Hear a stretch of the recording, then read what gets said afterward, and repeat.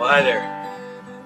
Well, you know, we're going to do a really high production values video for this song. It's going to be pretty cool. We're going to have uh, well, emulators and, and, and blue screen. It's going to be pretty cool. But, uh, you know, would have taken us a couple of months. And, uh, well, a man called us up and said that, you know, if we didn't get a video in in the next couple of days, uh, well, we'd lose the gig. Now, you know, we're not wanting to be pushed around by the man. No way, you know. But we started thinking that artistically, the best thing for this song, really, would be to just do it, you know, live to tape. There, you know, and a microphone, a webcam, and, you know, the DV camera there, and just capture that organic performance in a, in a digital form, you know, and, and that would sort of work with the theme uh, of the piece. So, you know, that's what we're going to do, because then, you know, this way we get the check. So, we're on take 53. Been going at it all night. Recorded about 20 takes without any audio. That was cool. Um, but I think we're going to get it on this one. I think this is this is the take. Yeah. You see, I come from a time way back in the 1970s when computers were used for two things. You to go to the moon or play Pong. Nothing in between. You didn't need a fancy operating system to play Pong. And the men and women, well, the men who went to the moon, well, God bless them, they did it with no mouse, you know, and a text only black and white screen and 32 kilobytes of RAM. Huh. Well, then around the late 1970s, home computers started to do a little more than play Pong. Very little more. Why? Computers started to play non Pong like games and balance checkbooks. Hell, you could play Zaxxon on an Apple II and, and write a book, all with a computer that had 32 kilobytes of RAM. Yeah, it was enough to go to the moon. It was enough for you. It was a golden time. A time before Windows and bloatware and color. Time before every OS sucked.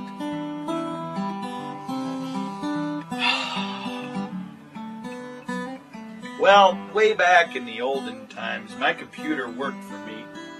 I'd laugh and play all night and day on Zork 1, 2, and 3, the Amiga VIC-20 and the Sinclair 2, the TRS-80 and the Apple II. They did what they were supposed to do. Wasn't much, but it was enough. But then Xerox made this prototype. Steve Jobs came on the scene. Red of mice and menus, Windows icons, and trash, and a bitmap screen. Old Stevie said to Xerox, Boys, turn your heads and cough. When no one was looking, he ripped their interfaces off. Stole every feature that he had seen, put it in a cute box with a tiny little screen. Mac OS 1 ran that machine, only cost 5,000 bucks. But it was slow, it was buggy, so they wrote it again, and well, now they're up to OS 10. They'll charge you for the beta, then charge you again, but the Mac OS still sucks. Every OS wastes your time from the desktop to the lap. Everything since Apple DOS, just a bunch of crap.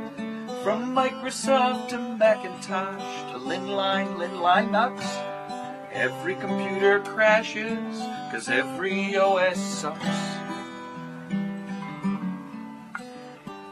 Well, then Microsoft jumped in the game, copied Apple's interface with an OS named Windows 3.1, and it was twice as lame, but the stock price rose and rose. Then Windows 95, then 98, man, Solitaire never ran so great. Every single version came out late, but I guess that's the way it goes. That bloatware will crash and delete your work. NTME, man, none of them work. Bill Gates may be richer than Captain Kirk, but the Windows OS blows and sucks at the same time. I traded in, yeah, right, for what? It's top of the line from the Compu Hut. The fridge, stove, and toaster never crash on me. I should be able to get online without a PhD. Doesn't take a week to boot it. My TV doesn't crash when I mute it. I miss ASCII text and my floppy drive. I wish VIC-20 was still alive. But it ain't the hardware, man. It's just that every OS sucks and blows. Now there's Linux or Linux. I don't know how you say it or how you install it or use it or play it or where you download it or what programs run. But Linux or Linux don't look like much fun. However you say it, it's getting great press, though how it survives is anyone's guess. If you ask me, it's a great big mess for elitist, nerdy schmucks.